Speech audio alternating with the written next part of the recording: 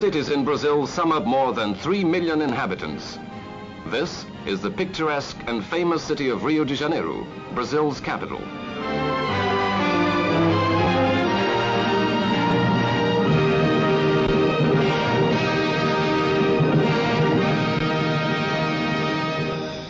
In Brazil's automotive industry, the FNM, Fábrica Nacional de Motores, was the pioneer.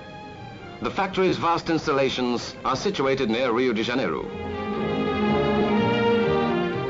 The FNM truck is produced by the Fábrica Nacional de Motores under license granted by Alfa Romeo, Milan, Italy.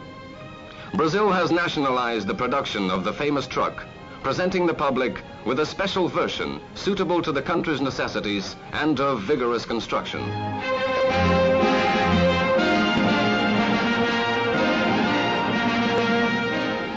Highly specialized workmen guarantee the quality of every single part.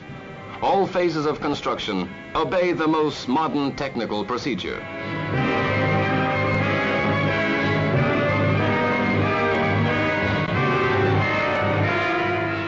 In order to face the hardest of conditions, special care is taken in the construction of the heavy FNM truck.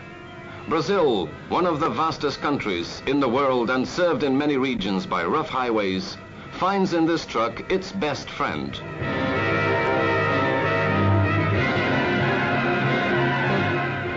Highly resistant and flexible springs are one of the major aspects of the FNM truck.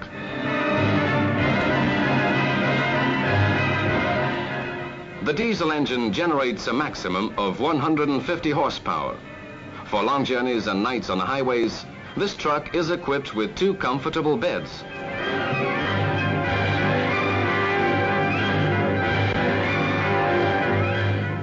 With no weak points whatsoever, the FNM truck, in the transportation of heavy loads, is quite righteously a motive of great pride for the Brazilian industry.